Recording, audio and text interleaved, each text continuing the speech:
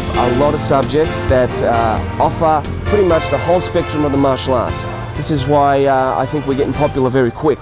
We can offer grappling, gi or no gi, we can offer weaponry, self-defense, combative, we offer Kune Do, which comes from Bruce Lee's structure.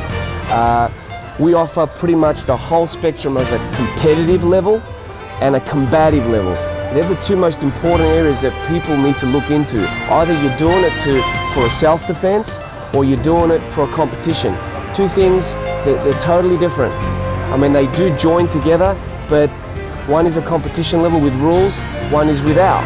So you've got two types of sort of people. Uh, we can offer uh, both, which is very rare. Either you're teaching traditional and that's it, we teach them both. So the, the, the schools we've opened up, I think uh, uh, any person can join and find something that they like night.